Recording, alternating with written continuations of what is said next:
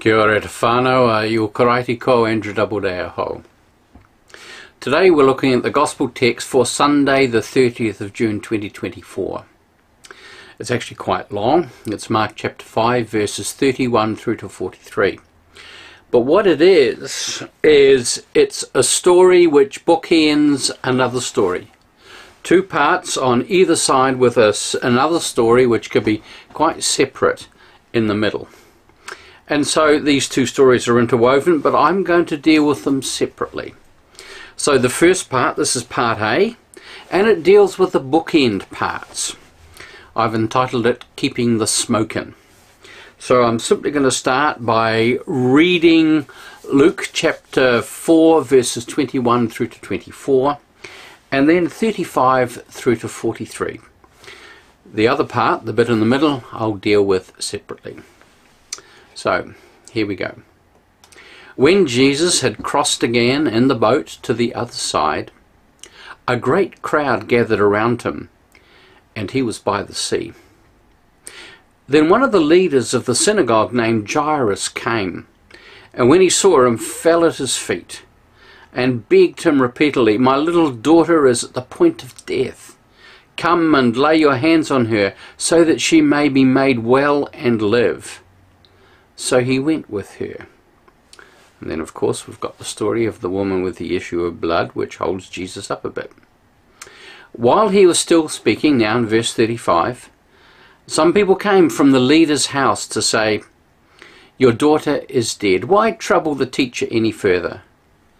But overhearing what they said, Jesus said to the leader of the synagogue, Do not fear, only believe.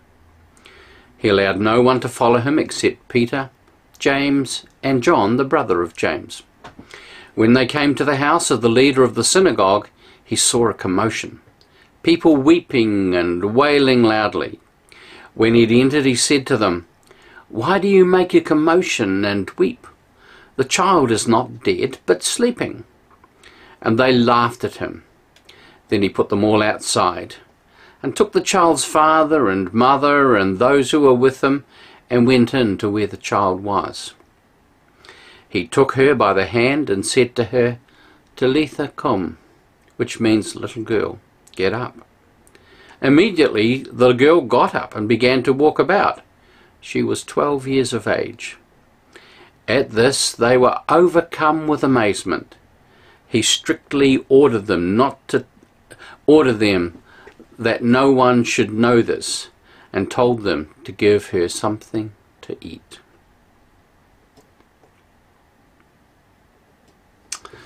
I had a friend who was a school science teacher, high school science teacher, and he had a little joke.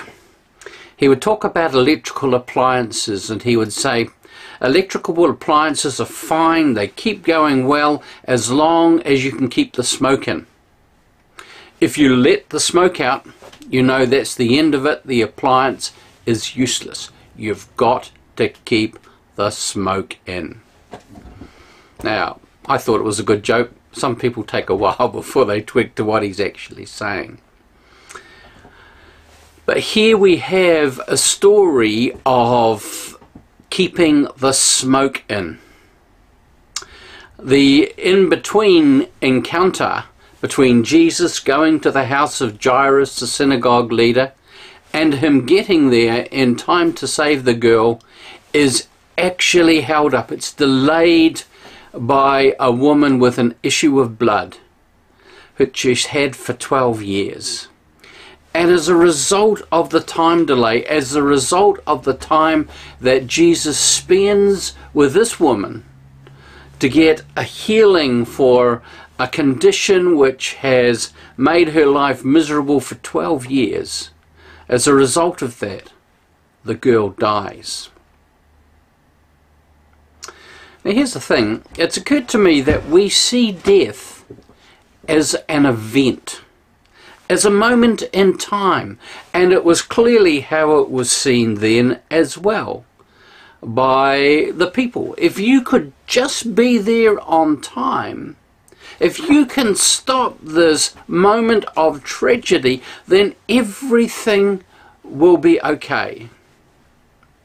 because clinically death is clearly prescribed. We can trace it almost to the second when the heart stops beating, when all brain activity ceases, when on checking the eyes there's no dilation with lights that are put in or anything like that. When breath stops, there's a, a number of clinical indi indicators that indicate that this person has died. And so we tend to see death as an event, as something that happens. The smoke suddenly has all gone out and it's gone it's dead. Quite some years ago, I heard an interview, I think it was on 9 to Noon. I'm not sure whether it was Kathryn Ryan or her predecessor, with a um, with an intensive care specialist from the United States who's had written a book called The Lazarus Effect. And what he describes is that death is maybe clinically it's an event, but it's also a process. That at the point of clinical death, it doesn't mean that everything has died. Because there are a whole lot of cells, all the cells, that are in the process of a slower decay. And if you can keep them cold, if you can keep them sufficiently turned down, the cellular death will take a lot longer. One of the interesting things he suggested was that in the story of the Titanic, where 1,500 people died, they were not able to be rescued in time. They were in the freezing waters when the Carpathia came and picked up the survivors.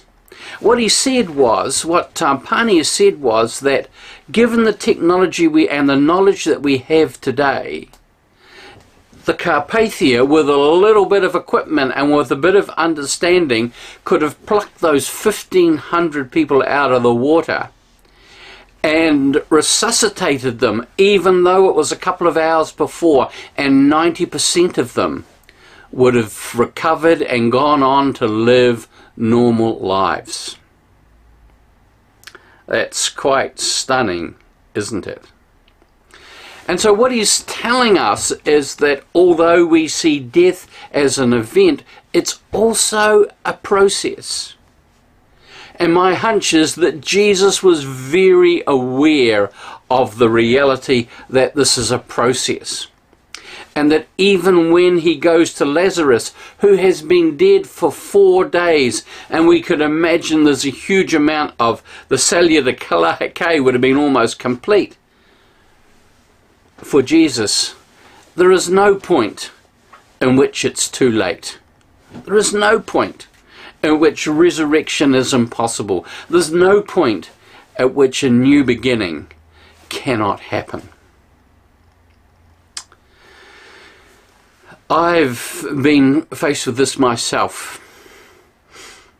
I may have said before that I have just recently entered my 70th year.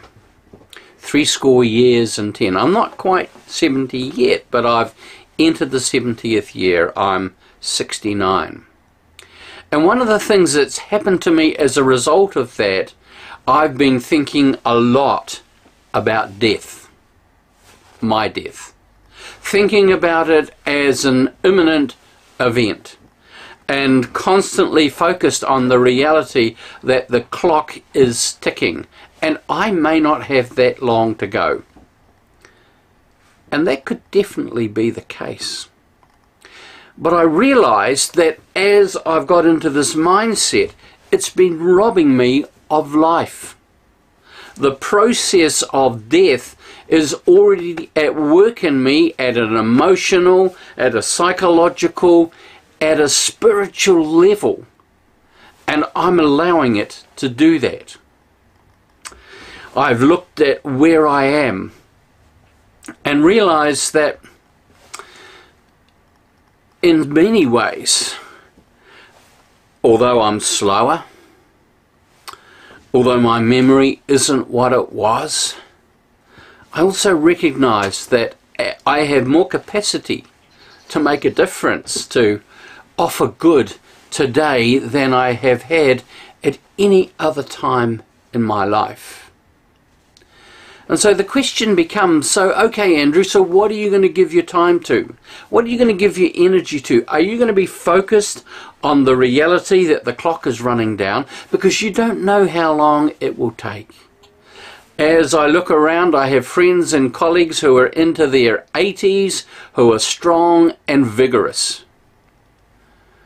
I've also seen people through my long pastoral ministry who from 70 to 80 is a dreadful decade and they're in a state of rapid decline so that they only just crawl into their 80s. So what's it going to be? What's it going to be? I've decided to stop looking towards just that final moment. And I found that as I've prayed about this and offered this to the Lord, I've found a, a new sense of freedom. That the challenge is to live every day as fully as I'm able.